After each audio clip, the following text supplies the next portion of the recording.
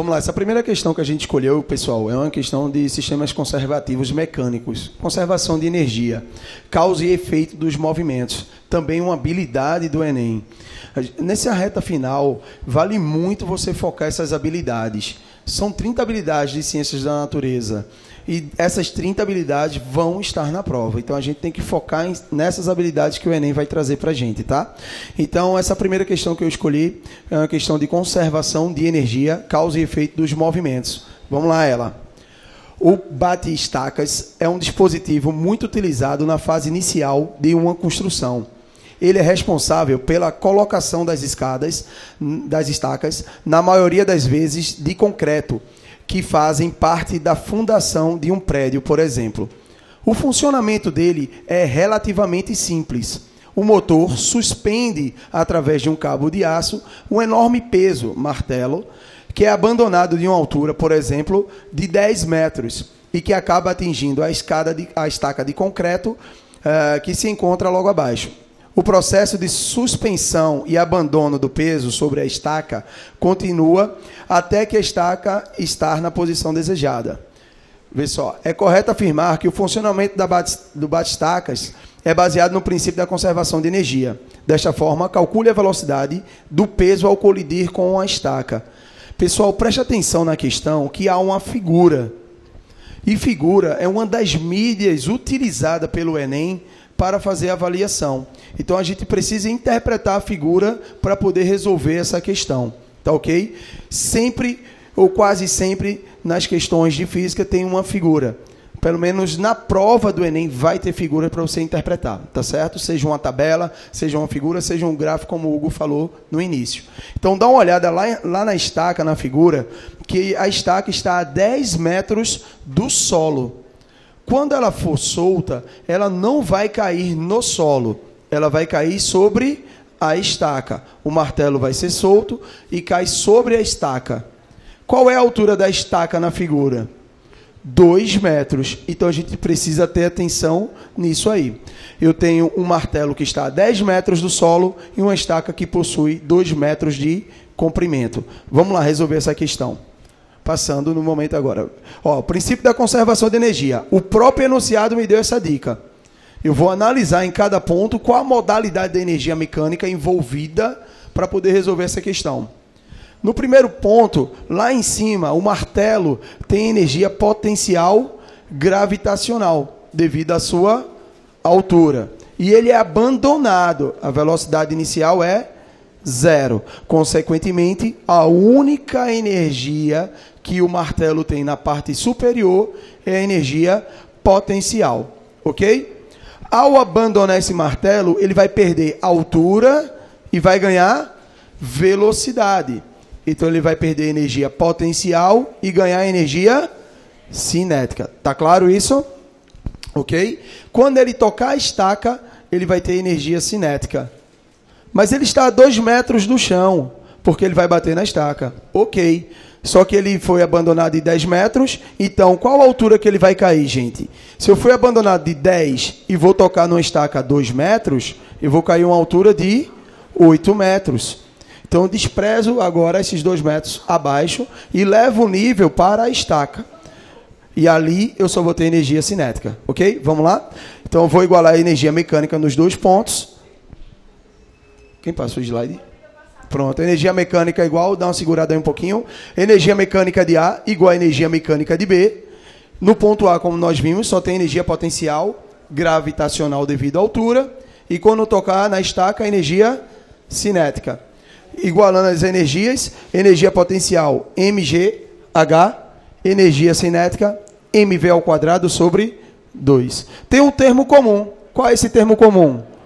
A massa. Então a massa pode ser cancelada. Então vamos cancelar essa massa. Cancela a massa. E aí nós temos agora só a dependência da altura em relação à velocidade na qual ele vai atingir. Continuando aí, nós vamos ver, ó, um pequeno desvio. Não esqueçam o que está aqui, tá? Erros técnicos, falhas técnicas. Vamos esquecer esse lado de cá e vamos pensar aqui, ó. A gravidade 10, a altura 8, lembrando, cuidado na figura, altura 8 de 10 metros até 2 metros. 8 vezes 10 igual a V ao quadrado sobre 2. Esse 2 que está dividindo vai passar multiplicando. Então a gente vai ter V ao quadrado igual a 80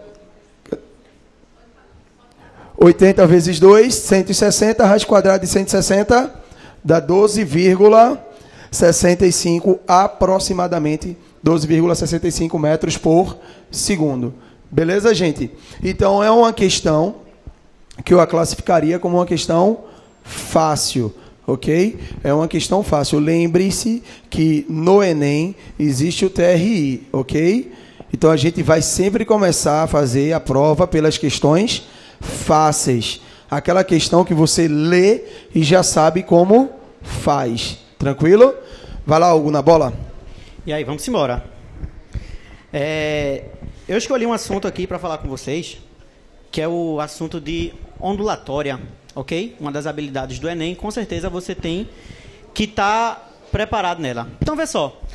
O que vai ser uma onda? São perturbações do meio, beleza? Só um, uma breve, um breve resuminho. São perturbações no meio. Oi? Tô te perturbando. É, aí. Depois eu vou mostrar um negócio. Vamos lá. São perturbações no meio que transportam energia, mas sem transportar matéria efetivamente. Ok? Aí você pode dizer, não, Hugo, peraí. Eu vou pra praia, vejo lá o surfista, pegou uma onda e tal. Galera, ali já não é mais a onda. A onda é no processo de formação. Pode perceber que quando a onda passa pelo surfista, ele, a onda, antes de quebrar, ele é arrastado por ela? Não. Ele só faz no mato assim, ó. Ui. Ele dá uma subidinha e uma o quê? De novo, foi... Hugo, de novo. a sonoplastia foi ótima. Passou de novo, assim. vai. Ui. Boa. Só dá adorei. uma subidinha e uma descida. Você pode perceber que ele não é deslocado efetivamente por essa onda, ok? Então a função da onda é transportar energia, mas ela não vai transportar matéria efetivamente, ok? Então ondas eu costumo dizer que são as formas como o universo às vezes tenta se comunicar com a gente, através de ondas eletromagnéticas e tal. E isso é muito legal. Vamos passar aí.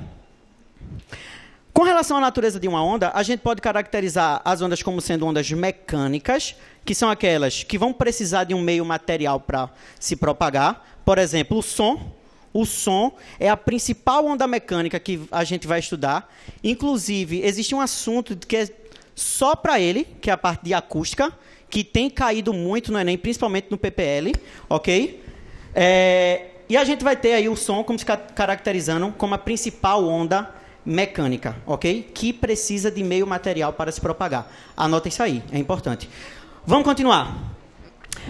Com relação às ondas eletromagnéticas, uma coisa que tu tem que estar ligado é em relação ao espectro eletromagnético, ok?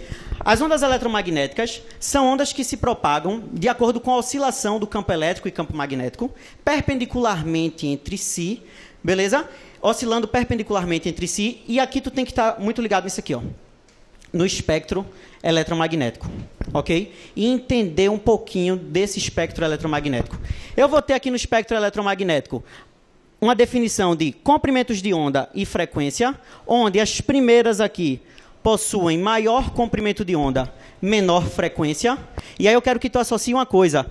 Frequência está diretamente ligada à quantidade de energia. Ondas que têm menor frequência têm uma menor energia associada a elas. Mas a coisa boa é que elas têm um alto poder de difração. E esse alto poder de difração vai permitir que essas ondas desviem de obstáculos mais facilmente. Então eu tenho aqui ondas de rádio. Você pode ver é, os celulares eles funcionam com ondas de rádio. Por quê? Essas ondas elas têm muitos obstáculos para desviar. Eu tenho prédios, eu tenho campos abertos. Então, quanto maior for esse comprimento de onda, ou seja, menor essa frequência, eu vou ter uma maior capacidade de desvio dessa onda, ok? E aí a gente vai subindo. Ó, a gente passa por ondas de microondas que você com certeza já ouviu falar até porque o seu aparelho microondas em casa, ele emite essas ondas que tem um alto poder de absorção pela molécula de água. O seu microondas em casa esquenta basicamente água. Água. Através de ressonância, ok? Então. Ressonância, por... fenômeno importantíssimo. Muito Hugo. importante. Olha lá, os fenômenos ondulatórios são habilidades do Enem. Vocês a... sabem o que é. Vai, desculpa. Dá, Vocês sabem o que é ressonância, gente? Isso mesmo, galera. Ressonância é transferência de energia de um meio oscilante para outro meio oscilante que tem uma frequência de vibração igual. Ok? Então, dois corpos entram em ressonância quando há uma transferência de energia de mesma frequência, beleza? E é essa, é essa transferência de energia que permite, por exemplo, que uma cantora quebre uma taça. Por quê? Porque ela ajusta a frequência da sua voz à frequência de vibração natural dessa taça. Então não adianta chegar lá e dar um grito como se fosse o maior grito do mundo. é, não quebrou. Então tem que ser com uma frequência específica. Específica. Ok? Então se liga aí que frequência é o ponto de chave de ligação quando a gente fala de fenômeno ressonante. E aí a gente vai subindo para a radiação infravermelha, tem no seu controle remoto da sua casa, e também está associada a ondas de calor. Agora mesmo eu estou sentindo o calor de Ratundi emanando para mim. Sempre. Na faixa do infravermelho. Sempre. A gente emite radiação infravermelha ok? Aqueles óculos de visão noturna, eles nos permitem enxergar justamente o que? Essa radiação. Radiação infravermelha. E aí a gente entra no espectro da luz visível, que são o que? São as cores que a gente consegue ver. Na verdade, quando a gente fala de luz, é em relação às cores que a gente consegue enxergar. E pode perceber um pouquinho aqui que eu tenho infravermelho, ok? Logo aqui eu tenho luz visível, que vai variar de onde? Do vermelho até o violeta. E aí a gente entra no espectro do ultravioleta, que são o quê? São ondas que elas têm um poder de penetração maior e são responsáveis por aquele bronze que você tem quando vai pra praia, aquele bronze maroto. Tipo o meu aqui, né? Tô bronzeado. Aí a gente vê um, quando falta. É. Tá? aí é que tá faltando. Então aí você vai ter raios UVA, raios UVB, onde raios UVA, UVB e UVC estão associados às quantidades de energia e aos poderes de penetração na pele. Ok?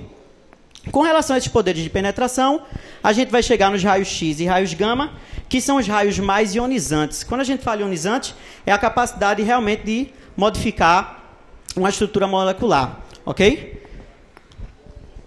Simbora? Vamos lá. Próxima. Ah, tu tá, continua agora aí. Pronto, então vamos embora aqui.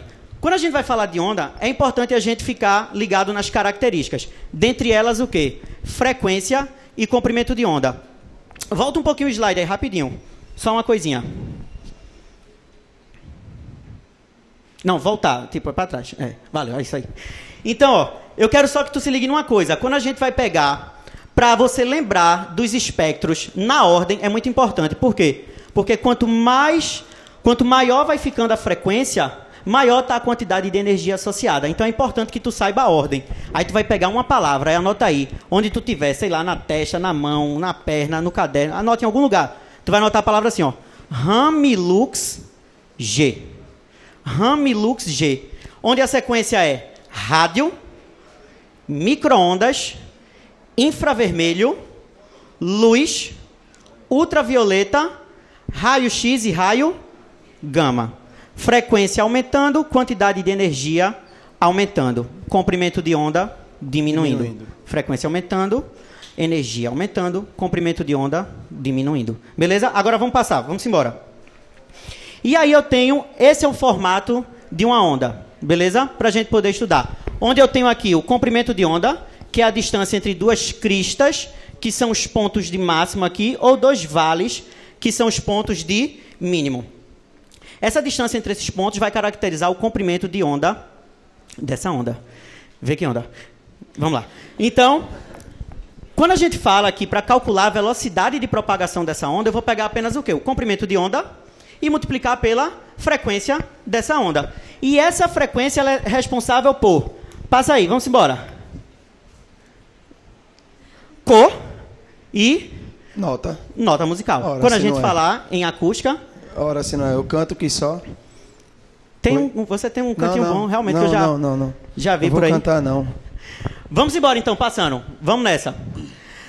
A gente vai fazer uma questãozinha aí bem simples. No exame de ultrassom, um breve pulso sonoro é emitido por um transdutor constituído por um cristal piezoelétrico. Que é isso aí? Sei lá, não me importa. Continua. Nesse cristal, um pulso elétrico provoca uma deformação mecânica na sua estrutura que passa a vibrar, originando uma onda sonora, de modo análogo a um alto-falante. O pulso de ultrassom é enviado através do corpo, parcialmente refletido nas diferentes estruturas do corpo, diferenciando tumores, tecidos anômalos e bolsa. E bolsas contendo fluidos. Contendo fluidos. O pulso é detectado de volta pelo mesmo transdutor, que transforma a onda sonora em um pulso elétrico, visualizado em um monitor de vídeo. Isso ele está explicando basicamente como é um exame de ultrassom. Pode passar aí, por favor. Sabendo que a velocidade de propagação das ondas de ultrassom nos tecidos humanos é de 1.540 metros por segundo e que pode ser detectado uma estrutura de dimensão igual a 1,5 milímetros. Importante isso aí, ó. Ele deu a velocidade em metro por segundo, porém a estrutura foi de dimensão igual a 1,5 milímetros. Determine a frequência do pulso elétrico utilizado na formação da imagem no monitor de vídeo. Hugo, rapidão. Olha só, ele leu um texto enorme que se ele excluísse aquele texto, Nada. você resolveria a questão. Essa é a famosa questão com texto.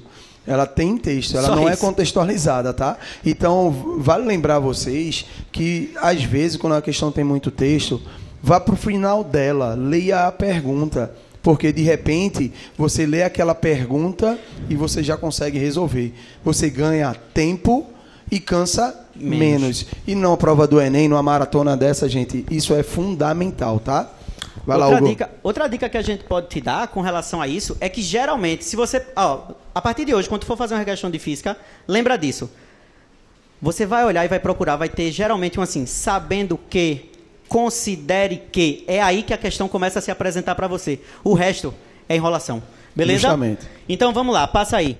Eu tenho aí os dados, onde a velocidade é 1.540 metros por segundo, comprimento de onda 1,5 milímetros. Que aí eu vou passar para metro, que é apenas multiplicar por 10 a menos 3. Beleza? Na resolução, a gente vai aplica- aplicar equação fundamental da ondulatória, V igual a lambda F, isolando a frequência, que é o que eu preciso saber, eu vou ter 1.540 dividido por 1,5 vezes 10 a menos 3. Esse 10 a menos 3, que ele vai subir, é, invertendo o sinal do expoente, aí vai 10 a terceira, ou seja, eu tenho 1.026 vezes 10 a terceira, o que nos dá 1,02 vezes 10 a sexta. É importante tu estar ligado nas questões de ondas aí, nos múltiplos e submúltiplos das potências de 10, onde 10 a sexta vai representar o prefixo aí mega, ok? Eu tenho quilo, 10 a terceira, é, mega, 10 a sexta, giga, 10 a nona e tera, 10 a 12. Justo. O que nos dá, como resposta a letra A. E aprovados. Claro, né? Perfeito. Ora, se não.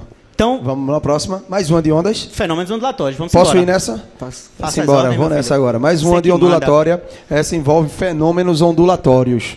Gente, vejam que já é a segunda questão de ondulatória. Porque nos últimos anos do Enem é um dos assuntos que mais vem caindo na prova, tá? Então a gente tem que ter bastante atenção. Principalmente aos fenômenos ondulatórios, ok? Então vamos lá, a questão.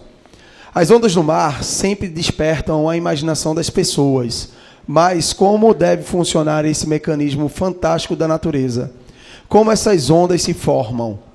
Para explicar tal fenômeno, um professor, numa aula no laboratório de física, fez para seus alunos a experiência que se descreve a seguir. Tem uma figura, gente. Mais uma vez, uma questão com uma figura. Dá uma olhada nessa figura rapidamente. Do lado esquerdo, do lado esquerdo, nós temos as frentes de onda, essas linhas na sequência que nós chamamos de frentes de onda.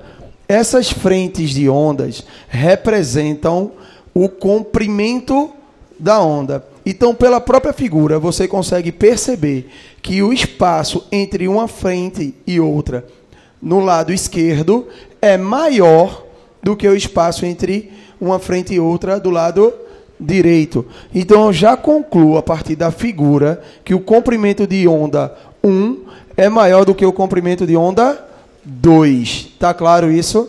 Então muita atenção na figura. Vamos lá. Inicialmente ele enche de água um recipiente retangular que, em que há duas regiões, 1 e 2, de profundidades diferentes. Esse recipiente, visto de cima, está representado na figura. No lado esquerdo da região 1, um professor coloca uma régua a oscilar verticalmente com frequência constante, de modo a produzir o trem de ondas. Esse trem que está representado pelas frentes de onda, beleza?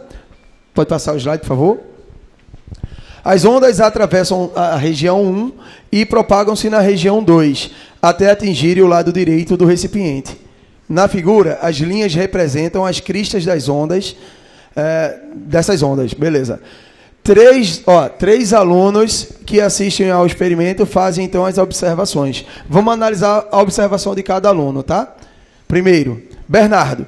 A frequência das ondas na região 1 é menor do que na região 2. Galerinha, o fenômeno que está associado a esse experimento é o fenômeno da refração. Uma coisa importantíssima: na refração, a frequência não se altera. Na verdade, em praticamente todos os fenômenos, todos os fenômenos tirando Exato. o efeito Doppler, que é uma frequência aparente. Mas nos fenômenos ondulatórios, a frequência não se altera. A frequência é uma grandeza da física que, per, que pertence ao emissor da onda. Ou seja, a régua do professor lá, ó, balançando, foi que emitiu essa onda. Então a frequência de todo o movimento é da régua do professor provocando essa perturbação. Tranquilo? Vai depender sempre da fonte emissora. Sempre da isso. fonte emissora, sempre, sempre do emissor. Emissora. A frequência depende do emissor, tá ok? Então não se altera. Então Bernardo, infelizmente, se equivocou. Falso. Rodrigo, não sou eu não, tá? É Rodrigo. Eu tinha te botado o Hugo, né? Errando. Poderia. Não, né? Não me botou você acertando, amigo. Que isso? Rodrigo, a velocidade das ondas na região 1 é maior do que na região 2. Sim ou não? Vamos analisar isso daqui a pouco? Vamos analisar isso daqui a pouco. Juliana, o comprimento das ondas na região 1 é maior do que o comprimento das ondas na região 2. Eu acho que esse aí, na figura, já dá para matar, né? Mas passa aí o slide, rapidão.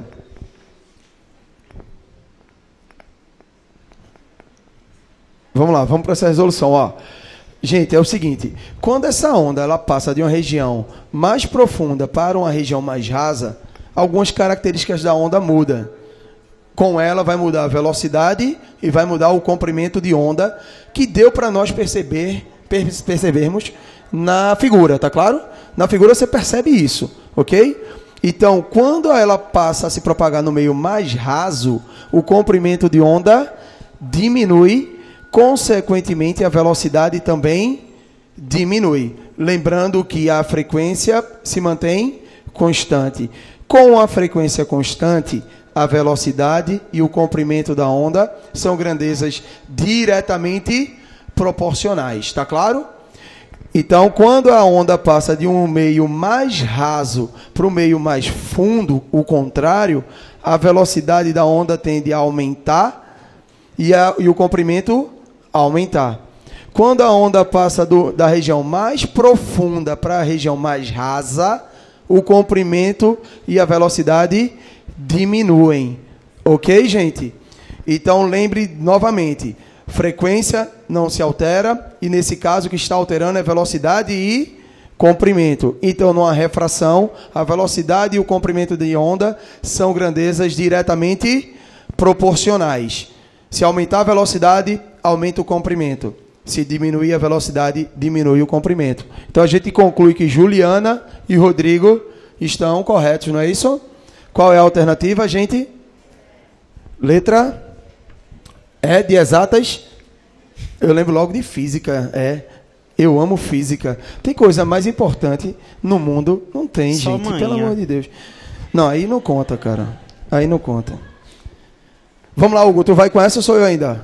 Vai-te embora é contigo. Sou eu. A gente está só mostrando aqui a figura, tá, gente? Para você perceber, ó. Dá uma sacada aqui na figura. Eu tenho uma onda aqui, ó.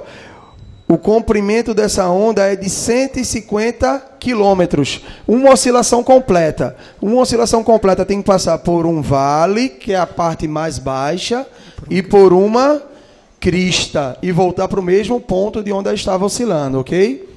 Sempre dessa forma. Então, essa oscilação, numa profundidade de 4 mil metros, vai me dar um comprimento de quanto? 150 quilômetros. Agora, veja só aqui, ó, o comprimento dessa onda, como é bem menor. A profundidade menor. Preste atenção no detalhe importantíssimo. gente, olha a altura dessa onda. Um metro. Olha a altura dessa onda. Cinco metros. Essa altura tem um nomezinho específico. Quem lembra? Isso mesmo. Amplitude. O que aconteceu ali, gente, foi que a onda perdeu energia cinética. Lembra que o Gui falou? A onda carrega consigo o que, gente? Energia. Então ela perdeu velocidade, não é isso? Então ela perde energia cinética e ela ganha energia potencial. Aí o que acontece com a amplitude? Aumenta. A energia potencial da onda está atrelada à amplitude dessa onda.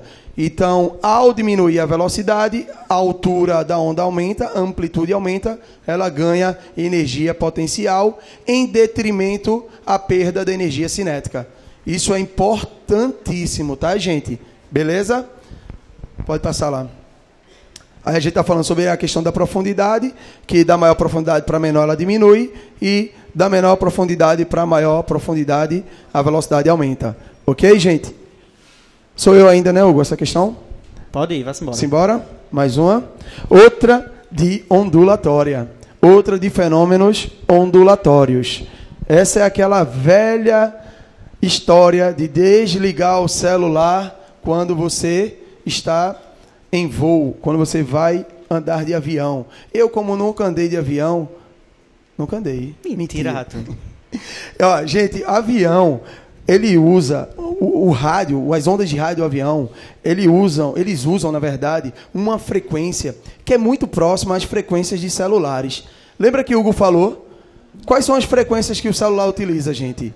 Frequências de quê? De ondas de rádio. rádio. Lembram disso? Porque ela tem um grande poder de quê? De sofrer difração, de contornar obstáculos, tá ok?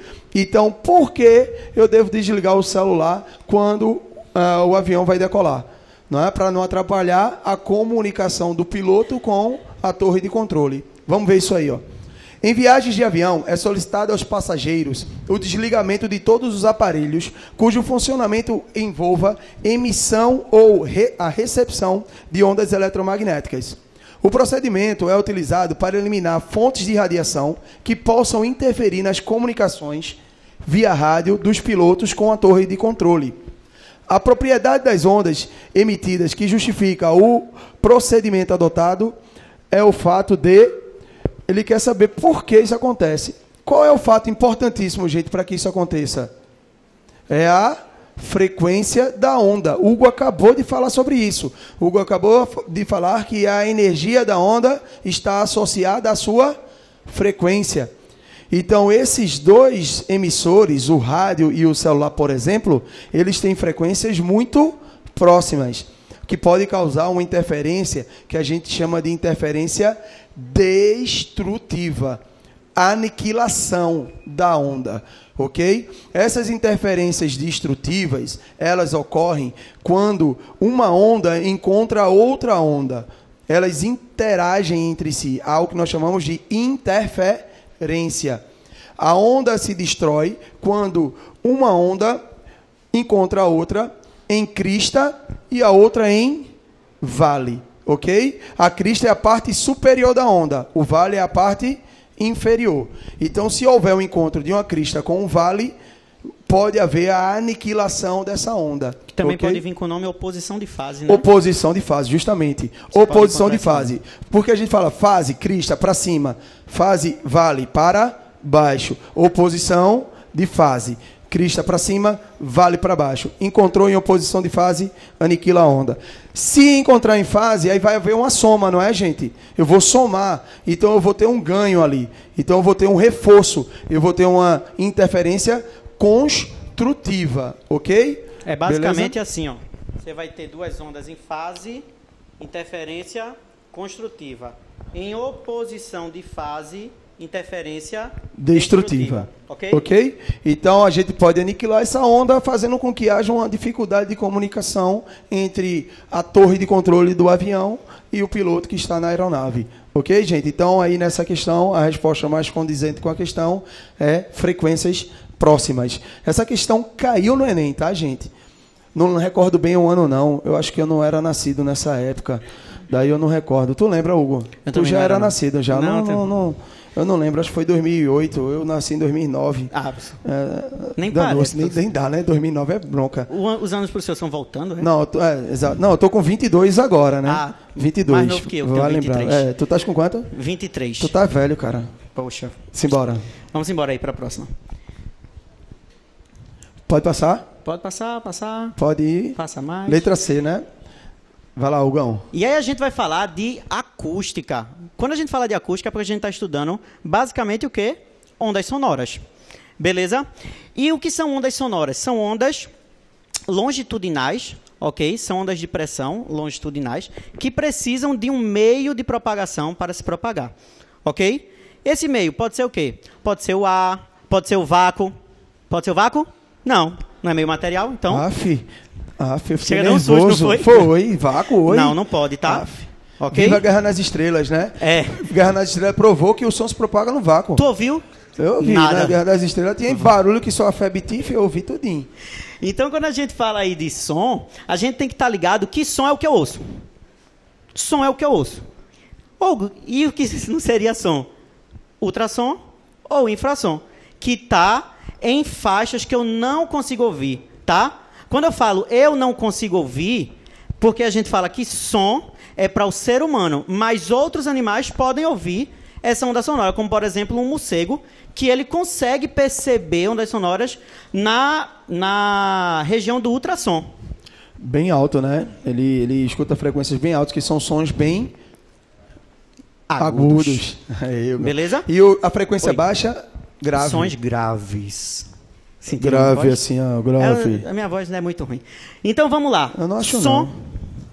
Brin- Segue. Fiquei encabulado agora. Então, quando a gente fala de som, se liga aí. Anota aí a frequência, é de 20 a 20 mil hertz. Ok? Geralmente isso porque. Geralmente nessa faixa, porque muda de acordo com a idade da pessoa. Pois ok? é, cara, eu tô chegando numa idade que eu não tô mais escutando algumas frequências.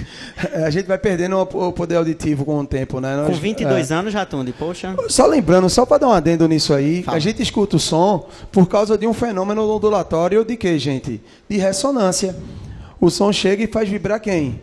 O tímpano né, que está lá dentro do seu ouvido, né? Fazendo com que essa informação chegue até o seu cérebro. E você tá? interpreta isso como som. Como som, exatamente. Então vamos lá, vamos passar aí.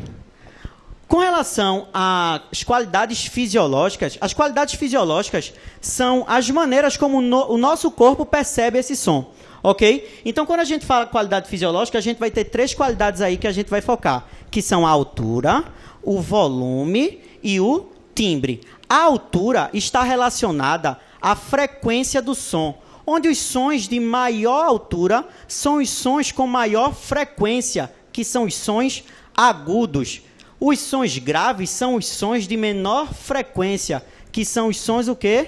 Graves. Então, quando sua mãe, você está lá escutando música no quarto, aí sua mãe, abaixa esse som. Bota grave nele. Arrocha o grave. Mas tá ouvindo o black, quer saber minha... re-" Aí, quando a- abaixa o som, vai ficar o quê? Peraí, pô. Foi- faz de novo aí que foi legal. Quer saber minha regra não veio. Isso é um som agudo, né? Aí, abaixa o som, aí vai ficar como? Quer saber minha... É isso Foi aí. bom? Foi foi, bom? foi razoável. Deu- deu pra passar, vá. dentro da expectativa foi médio. Então a gente vai ver, Ou seja, sou medíocre. professor, o destino da humanidade está nos medíocres. Quem tem as Claro, melhores é, soluções. Mediano, mediano. Então Simbora. vamos lá. Menor frequência, a gente vai ter um som baixo, ok? Com relação ao volume, aí tá, pelo que tu entende, como altura. Vê que onda. E não é onda, tu entendeu? Então, quando a gente fala de volume, a gente está se relacionando à intensidade sonora. Aí a gente divide isso em som forte e em som o quê? Fraco. Fraco. Forte. Mais intenso. E aí a- a gente relaciona isso com a amplitude. Sons, olha aí. Ah, som forte e som de mais intensidade, né? A intensidade maior tem uma maior amplitude, porque a intensidade está associada à energia. E energia está associada também à amplitude, Amplitude. da onda. Então, maior amplitude, som mais intenso, ok? Com mais energia, tranquilo? E é importante tu estar ligado nisso aí, porque quando a gente fala de volume, isso tem a ver com intensidade sonora, tem a ver com nível sonoro, a questão dos decibéis e tal. E isso influencia no seu corpo. Eu poderia pegar muito bem al- alguém aqui da plateia e dar um grito no ouvido dela. Ela ia dizer: "Meu irmão, na moral, meu ouvido doeu". Por que dói? dor. porque tem energia sendo transmitida ali de forma muito intensa. Vamos fazer um teste, deixa eu gritar no teu ouvido. Vai. Não, vou não, vou não, que eu sou bonito. Poxa. com, com relação à terceira qualidade fisiológica que a gente fala, é o timbre, que me permite diferenciar sons de mesmo comprimento de onda e mesma frequência, porém emitidas por fontes diferentes. Por exemplo, De mesma amplitude, mesma Mesma ampli- frequência. quase mesma mesmo amplitude e mesma frequência, né? Aí, isso, vai se embora. E aí você vai conseguir distinguir esses sons de fontes diferentes, ok? Então vamos passar aí. Nossos sentidos percebem de forma distinta características das ondas sonoras, como frequência, timbre e amplitude. Observações em laboratório com auxílio de um gerador de áudio permitem verificar o comportamento dessas características em telas de vídeo e confrontá-las com nossa percepção. Após atenta percepção, é, é correto concluir que as características que determinam a altura do som, opa, a altura do som e a sua intensidade. Grifa aí, altura e intensidade. Essas qualidades fisiológicas estão relacionadas ao quê? A que características? Frequência e É muito fácil, né? Very fácil. Mais uma questão fácil pro Tem, tem. A do TRI, né, gente? Tem que sempre focar nele, né? Às vezes Uma você pega, fácil. pega uma questão no, En- no Enem e faz: Meu Deus, como é que eu vou resolver isso aqui em 3 minutos, 4 minutos? Isso não dá para resolver em 3 minutos, 4 minutos. Concordo. Mas veja, para você ter uma questão dessa, você vai ter outra que você vai ganhar aquele tempo necessário. Então não Isso. se desespera. Tá certo? Não Pula, pula ela, pula. É. Deixa ela pula. pula. Tem que pular. A gente tem que começar sempre pela questão que você leu e fez e ganhou tempo, leu, fez, vai pulando.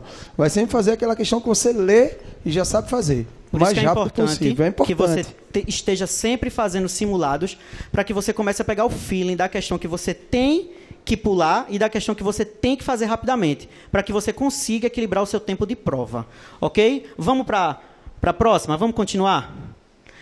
Efeito Doppler. Efeito Doppler é aquele negócio que você sabe que é, mas não sabe que é. Como assim? Todo mundo aqui já assistiu corrida de Fórmula 1. Hum, Eu me senti Interlagos agora. Tá vendo? Então, quando a gente fala de efeito Doppler, Ratundi falou um negócio no começo da aula que era o seguinte: a frequência de uma onda depende de quê? Da fonte emissora. E aí a gente pode trazer por um paralelo. Eu sou responsável pelo que eu digo, não pelo que você escuta. Sentiu? Profundo. né? Caramba, foi bonito, velho. Tu é filósofo? Tô tentando. Tá bom. Então, ó, quando eu digo que eu sou responsável pelo que eu digo, não pelo que você escuta, é porque se existir um movimento relativo entre quem emite a onda e quem recebe essa onda, a pessoa que recebe pode pode interpretar isso de uma maneira diferente. Então, ó, eu coloquei aqui no esqueminha, se tu olhar direitinho, essa bolinha que se desloca, ela é uma fonte emissora, ok? Enquanto ela está em movimento, você vê que ela está se aproximando do garotinho e está se afastando da garotinha aí, beleza? Que estão felizes porque estão estudando o quê? Física. claro. Então, perceba que quando a bolinha que está emitindo onda sonora vai se aproximando do garotinho, o comprimento de onda dessa onda recebida pelo garotinho ela é o quê? Menor.